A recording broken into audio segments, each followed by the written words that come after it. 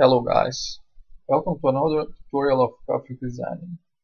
Today I'm going to show you how to design this realistic Ruby in Adobe Illustrator. So let's get started. First create a new document. Go to the file, click new and use this size. And click OK. I already created a new document. First click Ctrl and hold R on your keyboard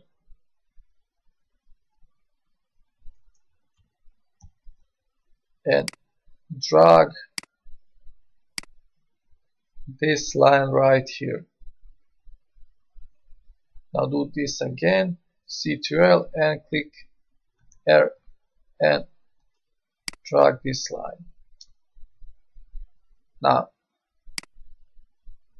click on this line, right click on the mouse, go to transform, rotate, and type 90 degrees. Now, put this into the center, like this. Now it's good. Now, click on the rectangle tool and hold shift and make rectangle like this. Move this rectangle into the middle, right here. Click on the stroke and fill the stroke with the black color. Click on the swatches. If you don't have swatches, go to Windows and click on the swatches. Now,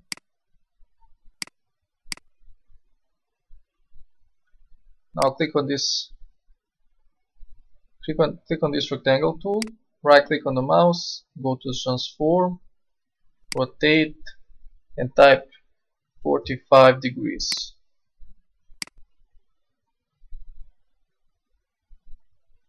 Now click on the line segment tool and choose line and make line like this. Hold shift and also this. All shifts. And now we have two lines.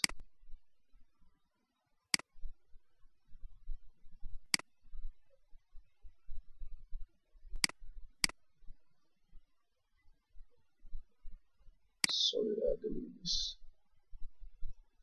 Hold shift and make line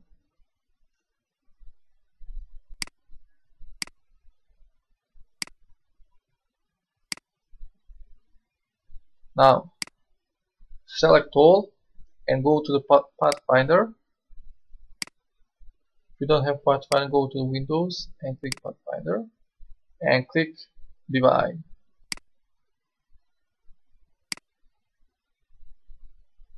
Now, select all, go to the object, go to the group.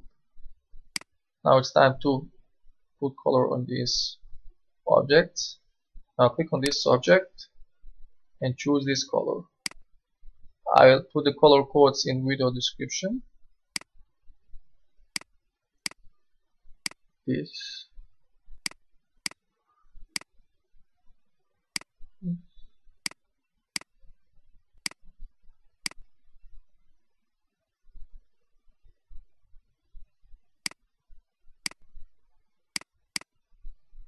Now select all and click on the stroke and click no. Now we need to connect these two parts like this. Now it's time to make another rectangle. Make rectangle, hold shift, click on the fill, click no.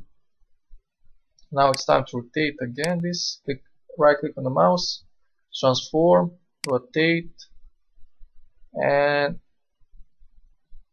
click OK. Now move this right here. Put the stroke. Put, put black stroke.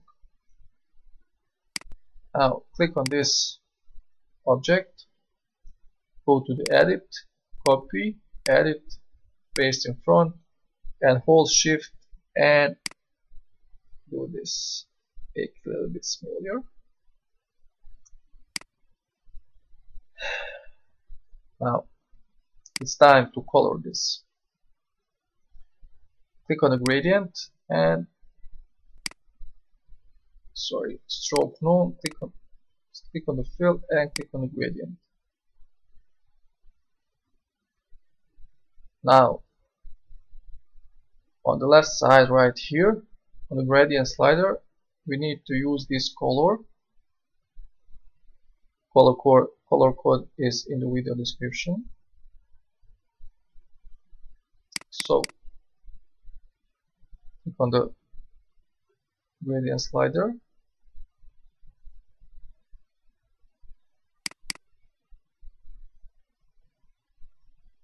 Change to RGB and let's see. Color code.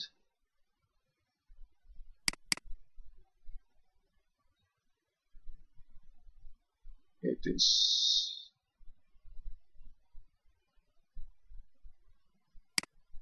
I will copy this put right here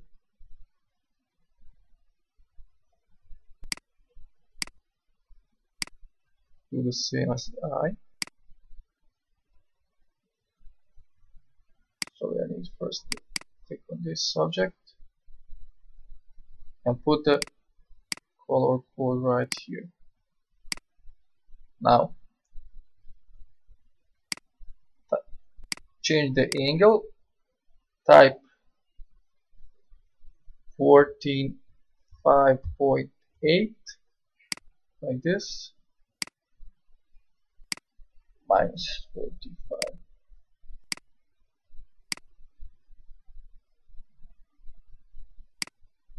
Forty-seven.